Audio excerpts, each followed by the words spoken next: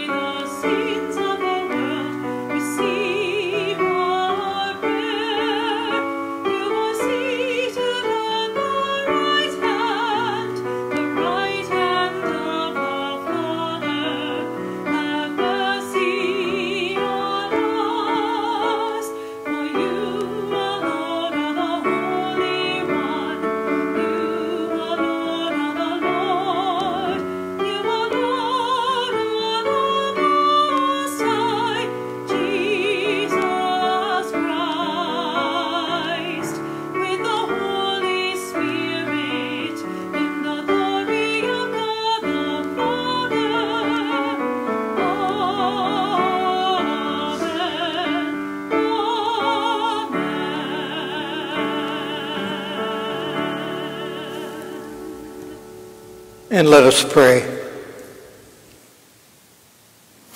Grant, Almighty God, that we may celebrate with heartfelt devotion these days of joy, which we keep in honor of the risen Lord.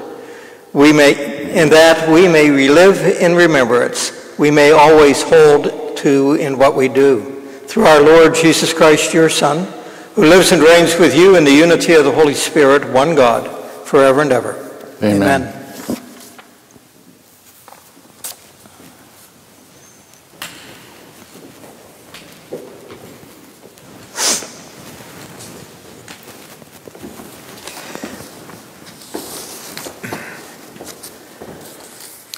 reading from the Acts of the Apostles. Philip went down to the city of Samaria and proclaimed the Christ to them. With one accord, the crowds paid attention to what was said by Philip when they heard it and saw the signs he was doing. For unclean spirits, crying out in a loud voice, came out of many possessed people, and many paralyzed and crippled people were cured. There was great joy in the city. Now, when the apostles in Jerusalem heard that Samaria had accepted the word of God, they sent them Peter and John, who went down and prayed for them that they might receive the Holy Spirit, for it not, had not yet fallen upon any of them. They had only been baptized in the name of the Lord Jesus. Then they laid hands on them, and they received the Holy Spirit. The word of the Lord. Thanks, Thanks be to God. God.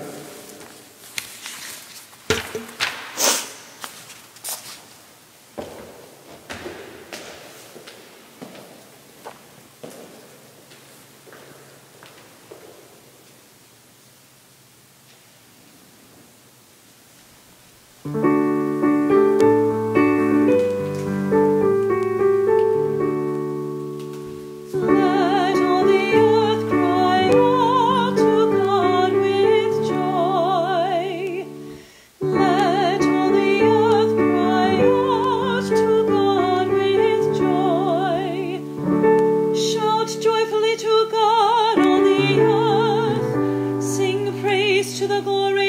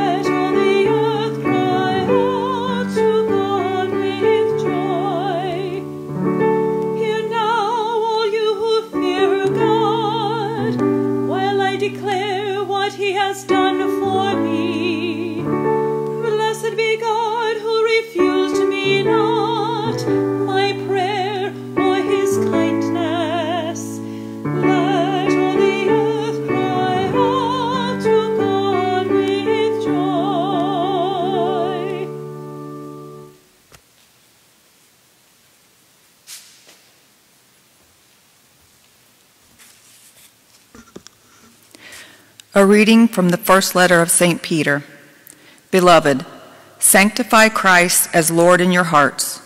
Always be ready to give an explanation to anyone who asks you for a reason for your hope, but do it with gentleness and reverence, keeping your conscience clear, so that when you are maligned, those who defame your good conduct in Christ may themselves be put to shame. For it is better to suffer for doing good, if that be the will of God than for doing evil. For Christ also suffered for sins once, the righteous for the sake of the unrighteous, that he might lead you to God. Put to death in the flesh, he was brought to life in the Spirit. The word of the Lord.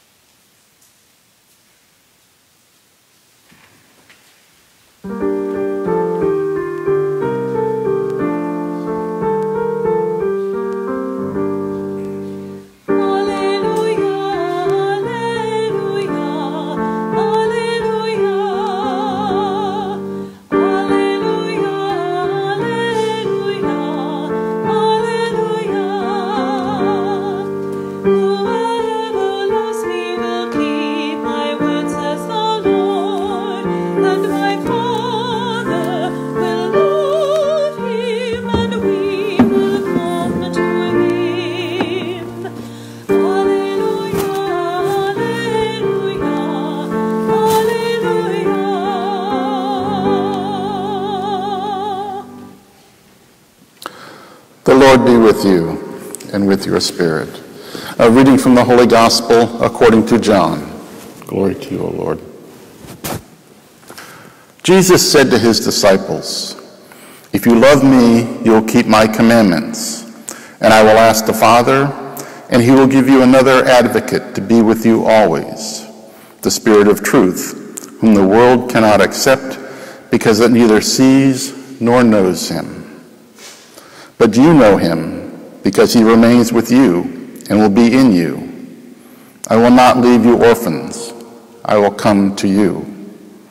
In a little while, the world will no longer see me, but you will see me because I live and you will live.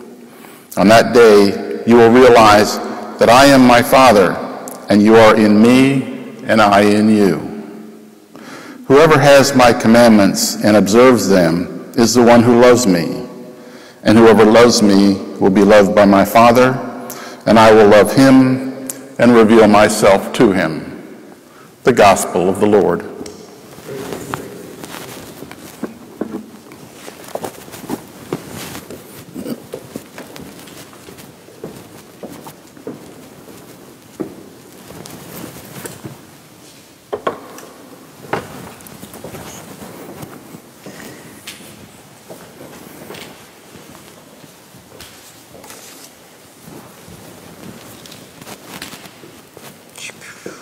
Stay.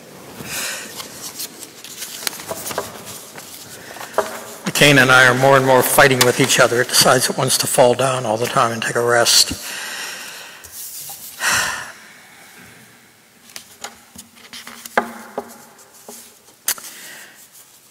A young man's father had been hung for some crime. Now this young man was faced with filling out a life insurance form with the usual questions that we encounter. Usual questions on health, hereditary diseases, things like that. When it came to answering, how did your parents die? He put down, mother, by pneumonia. Father was taking part in a public function when the platform gave way. Truth? Yeah. Full truth? Not really. According to Robert Browning, truth is truth and justifies itself by, an, by undreamed ways. St. Augustine makes the statement, it is written, for God is light, not light seen by these eyes of ours, but that which the heart sees upon hearing of the words. He is the truth. We make our claim as Christians, as Catholics, that Christ is the way, the truth, and the life, the truth. And we express that truth in a variety of ways. For a Roman Catholic, there are certain beliefs, truths, practices, values that we hold. The existence of God, the fact of the Holy Trinity, the fact that Jesus Christ is our Lord and Savior, the reality of a future life, the fact that we can interpret scriptures as directives for daily living, a code of morality, in that we acknowledge the central importance of the sacraments in our spiritual lives. We see those as basic truths, basic values that in one degree or another we all hold uniformly. But the question still comes up on that uniformity, uniformality. How do we view those truths? How do we agree to them? How do we adhere to them? How do they define who we are, make us unique? How much credence do we put to them? By credence, I'm talking about how much do we really reflect on those truths? How do they touch us? Not just on the surface, but interiorly. How do they change us? Are they merely things that we have to do? So as an adult, we see them as a necessary responsibility. But we really truly haven't entered into them to understand them, to really permit them to permeate all of the aspects of our lives. As teenagers, do we see ourselves being forced into them? Sort of that attitude that okay, I'm going to go to church because mom and dad insist on it until I've been confirmed, and then I'm done. I don't have to go to class or anything else. I'm now a mature Catholic. Peter, the first pope, makes a statement to be a Christian is a personal interior commitment to Jesus Christ. He has the central place in our hearts and therefore within our lives. The focus of Christian life, therefore, is belief, baptism, and conversion. Very much like we see the people in Samaria who are now responding to the, the first words that they hear about Christ from the early missionaries. And then, later, individuals are sent from Jerusalem who actually baptize them. This is a very personal process. First you have the belief. Baptism in the Lord's name, then in spirit. It's a personal, interior acceptance of the truth. I hear it, I reflect on it, and by God's grace, I permit it to begin to take hold. And in that process, I am making a commitment to it. And then baptism, a personal, public, sacramental expression of belief. In its ideal, this leads to a changing of our behavior, a changing of our lifestyles. We begin to live differently from the way we did previously. That is the ideal. That is the expectation, what's going to happen. Now, obviously, this is very much a personal process for an adult who is entering into the church to be baptized. For a child, an infant, it's a little bit of a different process. We still expect to see that development of a uh, characteristics in their lives, but this is going to be based more and more, not so much on a conversion experience where they're changing from where they had been living. That's not the case. But they're going to begin to take these on, these characteristics of a Catholic, of a Christian because they see them being lived within their families and within the community that they are growing up in. The problem is that a lot of times that water that has been poured over our heads or the oil that has been smeared on our chests or on our foreheads doesn't really penetrate. It's a lot like the heavy rains that we have down here, the ones that will drown a frog. But if you dig in the soil after the rain has stopped, it's only wet maybe an inch deep, and then powder dry underneath. The effect of the baptism is not magical. It's one where we've opened ourselves up to it, like the Samaritans did, and permit that grace to begin to enter into our lives, to begin that process of change. So some questions. Have we truly ever really heard and listened to the Christian message? Yes, week after week we gather here in the church, or like we are right now, you gather in your homes and watch this on the live streaming. But we truly listen to the words. What are the words actually saying to us? Words are powerful, but only if we open up our minds and our hearts to them. Have we truly been evangelized and responded positively to that evangelization process, like the Samaritans that we read about in the scripture?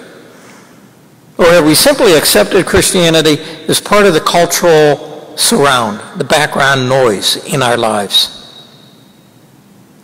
Have we seriously and maturely considered the Christian message as a real option in our lives, one where we are making a conscious choice to listen to it, come to understand it, come to adhere to it? Accepted it deliberately and consciously. Or did our learning process stop when we left the Catholic school or the CCD programs or the religious ed programs that we were a part of? Do we live adult Christian lives, but still with childhood guidelines? We only spout pious platitudes. Or can we explain our beliefs and its values? Verbally explain it to people who are curious interested, even attacking us? Can we do it quietly, patiently, with tolerance? Do people see it actually being lived out in our lives? There's an old saying attributed to St. Teresa of Avila that a lot of people understand and have heard. You might be familiar with it. Christ has no body now but yours, no hands, no feet on earth but yours. Yours are the eyes through which he looks with compassion on this world. Change the wording just slightly. Yours are the feet with which he walks to do well. Yours are the hands with which he blesses all the world. Yours are the hands. Yours are the feet. You are his eyes. You are his body. Christ has no body now but yours, no hands, no feet on earth but yours. Yours are the eyes through which he looks with compassion on this world. Christ has no body now on earth but yours. Jesus speaks to us today in the gospel about still being alive, even after his death. Mostly we find Jesus alive in the love of others, the energy of love that is connected to the energy of God, for God is love. At other times we find God close to us in prayer. But where we can sense him alive most clearly, most definitively, is in the ordinary, extraordinary loves of every day, in marriage, in family, in friendship, in the care of others. And during a time such as this, that comes forward, or should be coming forward, most clearly for us. Many of us do not realize that in this way, we have been Christ bearers. In listening to another, in care of all sorts, in putting ourselves out for the other, in working for justice and for peace, the Spirit of God is alive and people are touched by God's love through the cooperation of ordinary men and women. You and I. That is one of the challenges that we have as we come to the end of this Easter season, as we hear more and more about the Holy Spirit entering into our lives. That is not a superficial action. It's one where we fully open ourselves up to that Spirit, to its wisdom, to its guidance. We'll hear more about that next week with the Feast of the Ascension, definitely when we enter into Pentecost itself, of the impact of that Spirit on people's lives, the lives of the people in the early community of the church, at first small community that we read about in the Acts of the Apostles. We see it blossoming in the lives of the great men and women that we see as our saints down through the centuries. We see it in the lives of the ordinary people that we encounter who quietly go about living their lives, living their faith on a day-to-day basis, and in the process, witnessing to the truth of that faith. We must do whatever we can to fully understand what this faith is about. Not just superficially, not just relying on platitudes, really truly understanding how it challenges us, because it should challenge us on a day-to-day basis. And why do we do that? Because we may be the only gospel our neighbors ever encounter. Having heard God's word proclaimed, we join together and profess the faith we hold in common. I believe in one God, the Father, the Almighty, maker of heaven and earth, of all things visible and invisible. I believe in one Lord, Jesus Christ, the only begotten Son of God, born of the Father before all ages God, from God, light from light, light true God from true God, begotten, not made, consubstantial with the Father. Through him all things were made. For us men and for our salvation, he came down from heaven.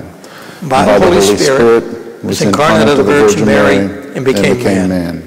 For our sake he was crucified under Pontius Pilate. He suffered death and was buried. Rose again on the third day, in accordance with the Scriptures. He ascended into heaven and is seated at the right hand of the Father. He will come again in glory to judge the living and the dead, and his kingdom will have no end.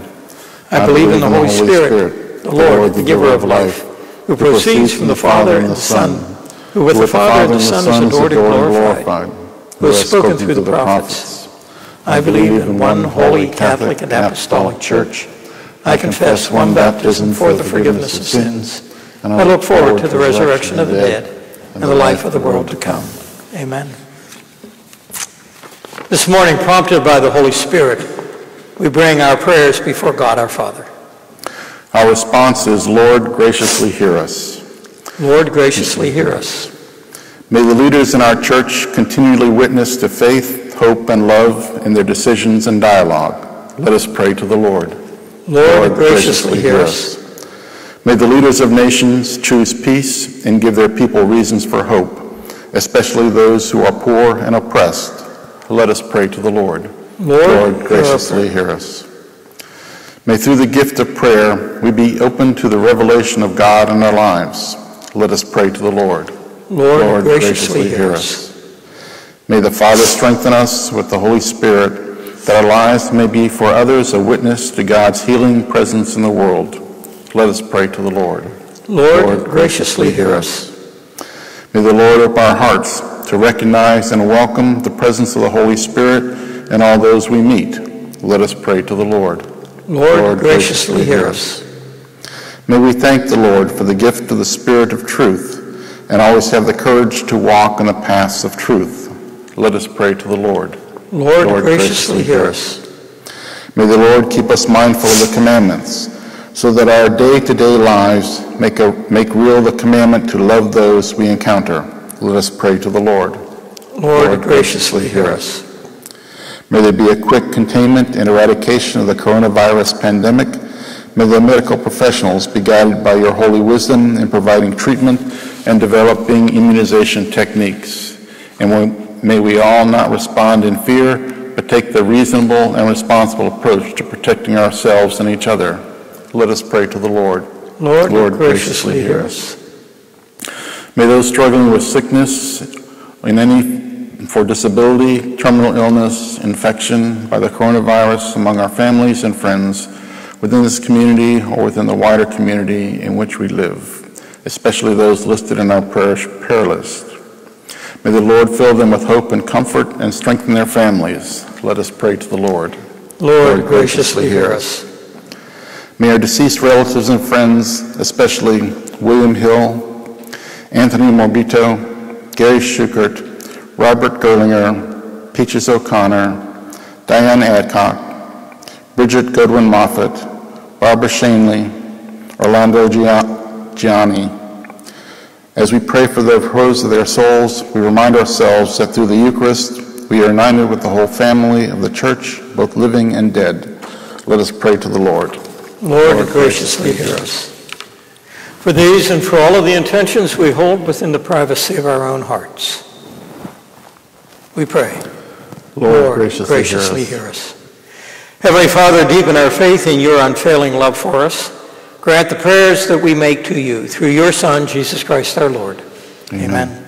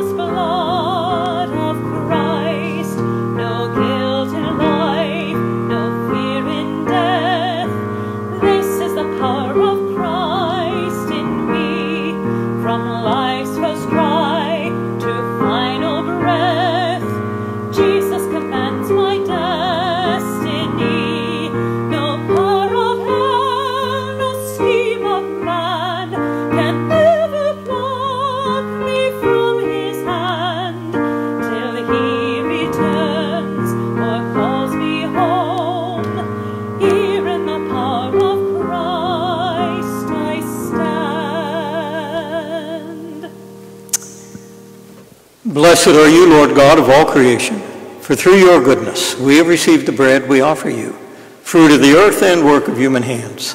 It will become for us the bread of life. Blessed, Blessed be God, God forever. forever. And blessed are you, Lord God of all creation, for through your goodness we have received the wine we offer you, fruit of the vine and work of human hands. It will become our spiritual drink. Blessed, Blessed be God, God forever. forever. With humble spirit and contrite heart, may we be accepted by you, O Lord. May our sacrifice in your sight this day be pleasing to you, Lord God. Wash me, O Lord, of my iniquity, cleanse me of all of my sins. Thank you.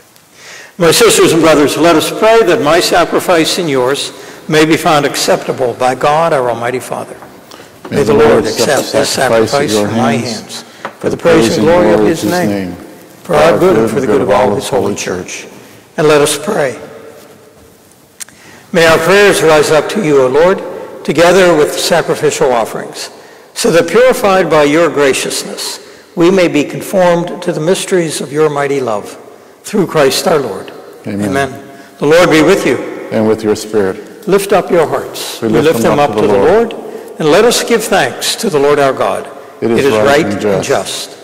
It is truly right and just, our duty and our salvation, at all times to acclaim you, O Lord, but in this time above all, to laud you yet more gloriously when Christ, our Passover, has been sacrificed. By the oblation of his body, he brought the sacrifices of all to fulfillment in the reality of the cross, and by commending himself to you for our salvation, showed himself the priest, the altar, and the lamb of sacrifice. Therefore, overcome with paschal joy, every land, every people exalts in your praise, and even the heavenly powers with the angelic hosts Sing together the unending hymn of your glory as they acclaim. Holy, holy, holy, Lord God of hosts, heaven and earth are full of your glory. Hosanna in the highest. Blessed is he who comes in the name of the Lord. Hosanna in the highest. To you, therefore, most merciful Father, we make humble prayer and petition through Jesus Christ, your Son, our Lord, that you accept and bless these gifts, these offerings, these holy and unblemished sacrifices, which we offer you firstly for your holy Catholic Church. Be pleased to grant her peace, to guard, unite, and govern her throughout the whole world, together with your servant Francis, our Pope, and Barry, our Bishop, and all those who, hold to the truth and on the Catholic and the Apostolic faith, Remember, Lord, your servants and all gathered here whose faith and devotion are known to you. For them we offer you this sacrifice of praise where they offer it for themselves and all who are dear to them, for the redemption of their souls and hope of health and well-being, and paying their homage to you, the eternal God, living and true. In communion with these, in communion with those whose memory we venerate, especially the glorious ever Virgin Mary, Mother of our God and Lord Jesus Christ, and blessed Joseph, her spouse, your blessed apostles and martyrs, Peter and Paul, Andrew, James, and John, Thomas, James, Philip, Bartholomew, Matthew, Simon, and Jude, Linus, Cletus, Clement, Sixtus, Cornelius, Cyprian, Lawrence, Chrysogonus, John and Paul, Cosmas and Damian, and all your saints. We ask that through their merits and prayers, in all things we may be defended by your protecting help. Therefore, Lord, we pray graciously accept this oblation of our service, that of your whole family Order our days in your peace, and command that we be delivered from eternal damnation and counted among the flock of those you have chosen. Be pleased, O God, we pray, to bless, acknowledge, and approve this offering in every respect. Make it spiritual and acceptable, so that it may become for us the body and blood of your most beloved Son, our Lord Jesus Christ.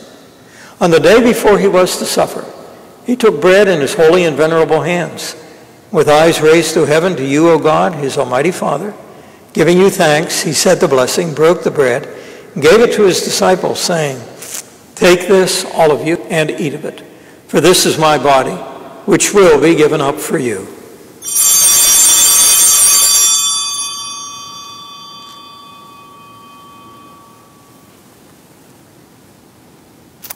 In a similar way, when supper was ended, he took this precious chalice in his holy and venerable hands. And once more, giving you thanks, he said the blessing, gave the chalice to his disciples, saying, Take this, all of you, and drink from it. For this is the chalice of my blood, the blood of the new and eternal covenant, which will be poured out for you and for many for the forgiveness of sins. Do this in memory of me.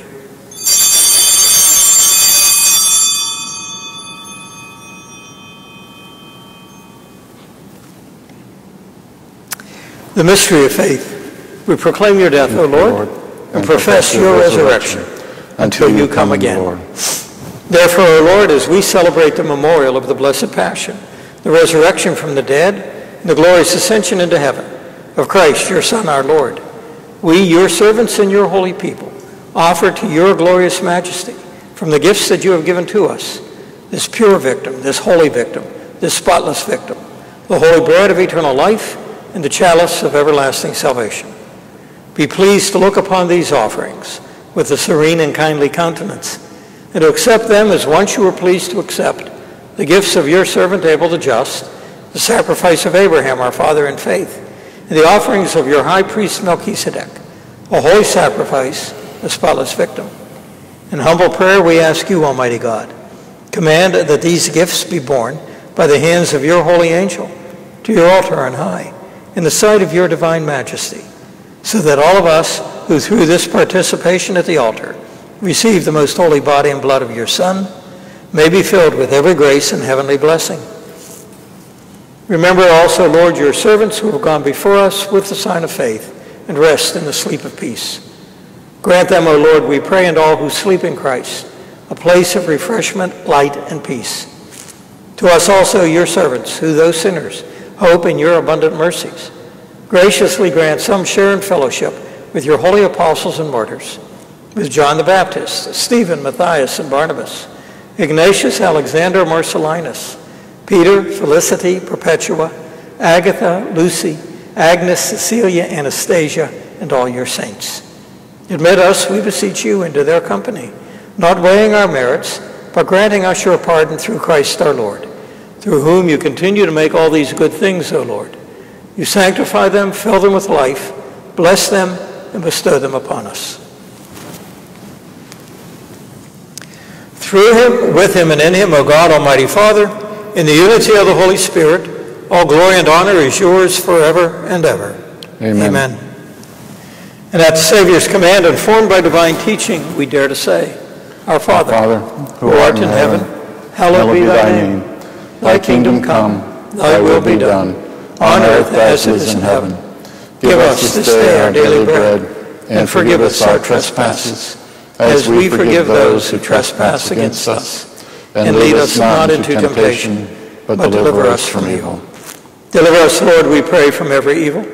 Graciously grant peace in our days, that by the help of your mercy we may be always free from sin and safe from all distress, as we await the blessed hope the coming of our Savior, Jesus Christ. For the, kingdom, the power, and the glory are yours, now and forever. Lord Jesus Christ, who said to your apostles, Peace I leave you, my peace I give to you. Look not on our sins, but on the faith of your church, and graciously grant her peace and unity in accordance with your will, who live and reign forever and ever. Amen. May the peace of the Lord be with you always. And with your spirit, let us offer each other a sign of peace. Peace be with you. Peace with you.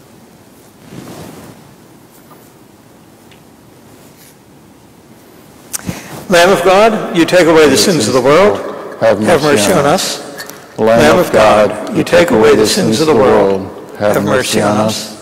Lamb of God, you take away the sins of the world. Grant us peace. May this mingling of the body and blood of our Lord Jesus Christ bring eternal life to us who receive it. Lord Jesus Christ, Son of the living God, who by the will of the Father and the work of the Holy Spirit, through your death gave life to the world, free me by this your most holy body and blood from all my sins and from every evil. Keep me always faithful to your commandments. Never let me be parted from you.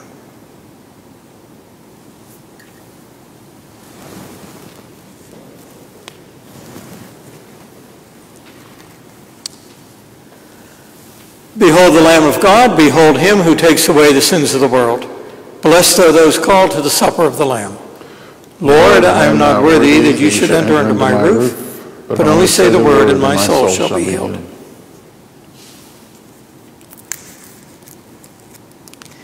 May the body of Christ keep me safe for eternal life. Amen.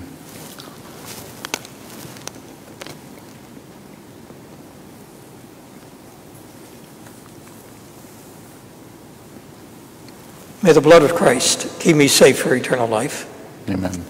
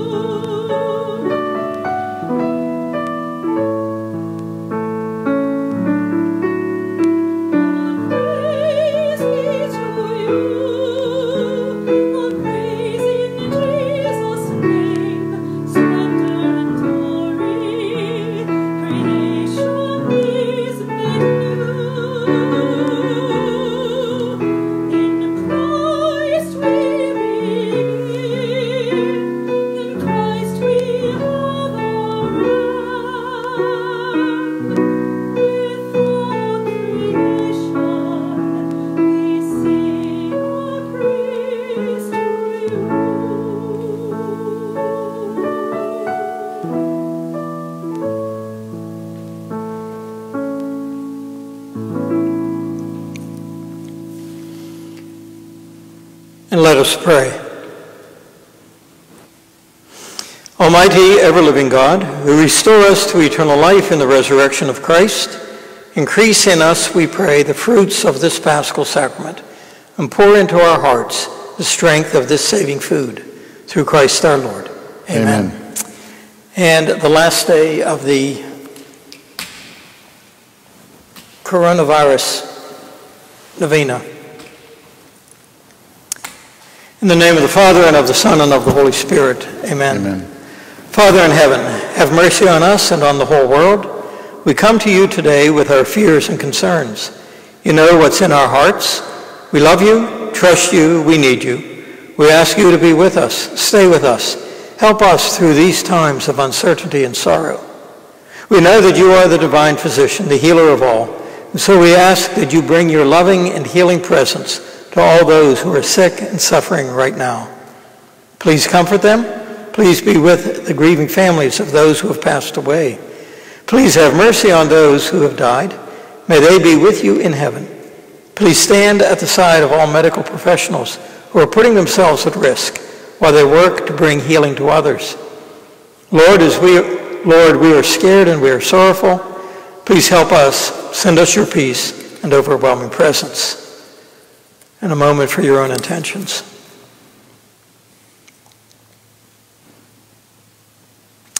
Mary, undoer of knots, please pray for the knot of this virus to be undone for the greater glory of God. Jesus, we thirst for you. You chose to enter this world as a vulnerable baby. Be with the most vulnerable now. Help us to continue to return to you with our whole hearts throughout this ordeal. Amen. Amen. In the name of the Father, and of the Son, and of the Holy Spirit. Amen. Amen. The Lord be with you. And with your spirit. And let us bow our heads and pray for God's blessing. May you know the safety of God's love. Amen. Amen. May you be aware of the presence of Christ in your hearts. Amen. Amen. May the comfort of the Holy Spirit be always about you. Amen. Amen. May the blessings of the Father, the Son, and the Holy Spirit be upon you today and in the days ahead. Amen. Amen. Go forth, the Mass is ended. Thanks be to God. This is a point at the Mass where I would normally ask if you were here in the church, if you would all please be seated because we need to talk. So wherever you are and whatever you're doing, I would ask you just pause here for a minute. I'm going to take a little bit of time. Uh, one um, upcoming events. This coming Thursday is the traditional feast of the Ascension. In the old days, it was a holy day of obligation. Now, in our diocese, in many dioceses, that uh, feast day has been transferred to Sunday. However, in recognition of the old traditional day of the Ascension, on Wednesday evening, our prayer service will focus in on the Ascension itself. So uh, that will begin as we have in the past at 6.30 with uh, quiet time for yourselves. At 7 o'clock we'll begin the prayer service that will run and when it's completed, whatever time is remaining up until 8 o'clock, once again will be quiet time for yourselves. So that'll be on Wednesday evening. Um, today, immediately following this Mass from 9.30 until 12 noon, they are collecting food out on the uh, portico around the bell tower once again, like uh, a couple of weeks ago when food was delivered here by you all, out of your generosity, to help uh, restock the shelves at Prince of Peace and also at the Chesapeake Food Bank. So uh, once again, we're asking for your help in that endeavor. And uh, ahead of time, thank you very much for your concern, for your generosity. Uh, the other point that I wanted to raise with you all, um, the word is already circulating rapidly in the, in the parish about reopening the church this coming weekend, next weekend. And I uh, just want to clarify a few points that have been out there.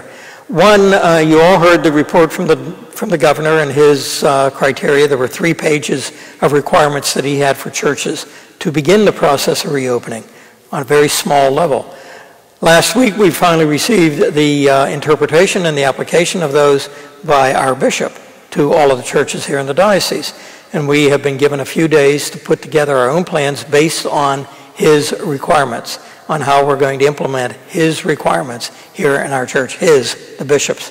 Um, I think there's been a little bit of angst that this was not done consult, consulting the entire parish on it. Let me explain it this way. In this book that I have up here in the front, the Roman Missal, that is used to celebrate all of our liturgies, there is red print rubrics. Those are the guidelines that I have to follow when I celebrate Mass or do the sacraments. In effect, the bishop's guidelines are rubrics. There was not any give or take. It was, how are we taking those rubrics and applying them here? Therefore, we did not do a lot of consulting. We took those and applied them to our situations as we've experienced them here over the years. Clarification. Uh, Everyone will have to wear masks. It's going to come across as um, a little annoying, the uh, procedures that we have to follow. Uh, and the portico, there will be ushers who are going to be pointing out the major questions that apply to COVID-19 asking if any of these apply to you. If they do, when you're here next Sunday, we're going to ask you to leave. Uh, if you do not have a mask, you are not permitted to come into the church. Um, we have been required to determine what is the acceptable number of people that we can have in this church. Originally, it went from our uh, normal capacity, cut in half. And then you took that half and you cut, cut it down even more to provide uh, spacing, the six foot spacing. So basically, we come down to about 190 people can be fitted into this church for any one Mass, at least for the immediate future. How are we going to be addressing that? Tomorrow morning on our uh, webpage, and that you can go there to sign up Genius and you can register yourselves in. And we will register you specifically into being here in attendance at one of the two masses that are going to be celebrated next weekend. And the people out on the portico will use that listing as the criteria for admitting people into the church for Mass. So please go to Sign Up Genius and register in for that. 190 seats roughly is what we're going to be able to fill. Um, you are going to be escorted into the church by an usher. We will fill the church from the front to the back. Uh, spacing is required. The center sections are going to be for families, different arrangement for families as opposed to individuals. These side sections are basically going to be the places that individuals are going to be put with a six foot distance in between each one of them. So please adhere to that. It's for your safety. This is not a bureaucratic requirement that I've come up with. It's for your safety. Um, we'll also have to be somewhat flexible depending on how many families, how many individuals we have, and how we work this all out. But the way it is planned, as I said, on either side of the main aisle, for families, the side sections will be for individuals. There is some confusion about ministries. There will be a lector at each of the masses. Uh, we will have one cantor and a musician that'll be playing Jessica most likely. Uh, Masks will be worn throughout the Mass by y'all. Um, there are no extraordinary ministers of the Eucharist. No lay ministries, no lay Eucharistic ministers are permitted at this particular point in time. The only individuals that are permitted to distribute communion are the deacon and myself, which means that our communion lines are going to take a little longer. We will distribute at each of the major aisles here, and the ushers will direct you forward. Please follow their directions. We are going to be taking time later this week for training on that to explain to them so they understand how we're doing this. Once again, we're asking you as you come down the aisles to follow that six foot uh, distancing. There will be stripes on the floor required by the diocese so that you can follow that. And you see them in all the stores now anyway. Exiting the church afterwards, you have to exit through a specific door, requirement of the diocese. The ushers will direct you in that way. Once again, instead of filling from the front to the back, they're not going to empty from the front to the back. They're going to empty from the back to the front, just so that we don't have people overlapping. And we ask you do not congregate in the uh, commons. Go immediately to the parking lot into your cars and leave. Once again, as a way of avoiding crowds getting too close together, still maintaining that idea of uh, social distancing that is required. Those are the major points that I wanted to cover today, just for, for clarification. The other thing, when you come in here, you are not going to find hymnals. They've been locked away. Uh, we are not permitted to have paper products, paper books that you can use and sing from. Uh, the uh, liturgy books that we have up here, the lectionaries, can no longer be used at this point in time. We're going to have to find some other way of printing out the specific reading for that Mass and have that up there so it's not being handled by multiple people. Uh, when the deacon and I distribute communion, we will be wearing face masks. Also ask, as I did many weeks ago, with all due respect to those of you who prefer to receive uh, on the tongue, I'm asking you please discontinue that for the time being and continue coming forward and receiving in the hand. Uh, it avoids any potential problems. And we will, the deacon and I, will distribute on your hand Therefore, I ask you, make it flat so I can lay the host there, that I'm not touching your hand and you're not touching my hand. Isn't this fun? Um, The other thing that I wanted to do for you all, once our plans have been approved by the diocese, and that's what we're waiting for now, it's going to take them 72 hours to review it, uh, I would like to have a meeting with the parish. So obviously we can't pull you all in here. We're going to do it on Friday evening in place of the prayer service. And I'm just going to explain in greater detail what the requirements are, how we're going to go about doing this, so that you are aware, you don't come in here blind. You are aware on Sunday what is happening. Uh, which brings up the critical point, what time are the masses? We're going to have two masses, uh, public masses on Sunday morning, one at 8.30, another at 11.30. We're still doing live streaming. The live streamed mass will take place on Saturday evening at 5 o'clock. So uh, 5 o'clock on Saturday evening, a live stream mass, not a public mass. On Sunday morning, 8.30, then again at 11.30, we will have our two public masses for you all that you can attend. In time, hopefully, we're going to be able to expand those out and we begin to hit our normal schedule like we've had before. But right now, we're uh, limited on this. Uh, part of the reason is that we have to have time in between each of the masses to wipe down all of the pews, all of the flat surfaces, anything that possibly was touched with uh, sanitizing solutions, and that is going to take some time. So, ahead of time, I thank you for your cooperation and your patience with this. So, may you all have a very blessed, a very peace-filled day.